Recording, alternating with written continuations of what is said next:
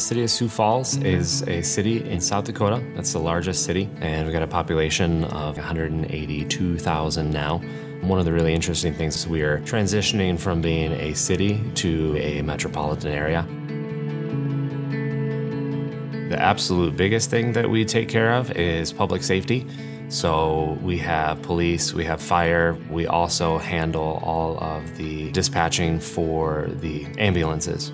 A lot of times you hear companies that say, if we're down, this costs us so much per hour. But one of the things that I think about is that if my services are not available, we get to a point where people could actually end up dying. Our goal is to simply provide everything that all those other departments need to serve the citizens as best as we can. So, Rubrik is part of our strategy to make sure that all of those things do stay available.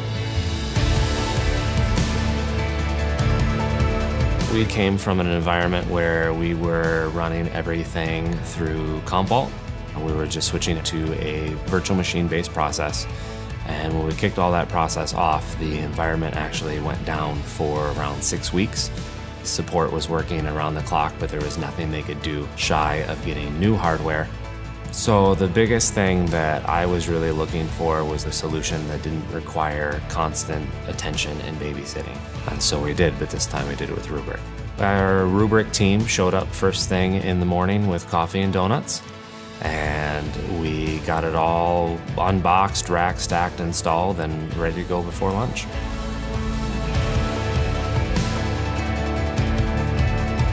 The greatest benefit is I get at least five hours back a week in not managing the backup solution.